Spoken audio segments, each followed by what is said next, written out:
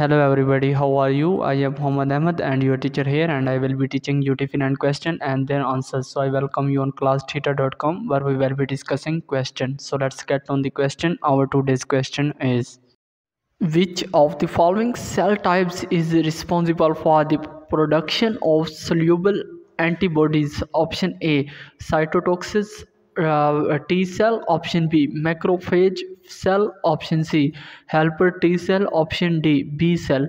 The correct answer of the question option D B cell the production of antibodies by B cells is part of the humoral response to antigens so that's the correct answer of the question. If you have any question just leave a comment. I will be answering you as soon as i can. Thank you very much for watching the video. Please don't forget to like share and subscribe our channel. Until next question. Bye bye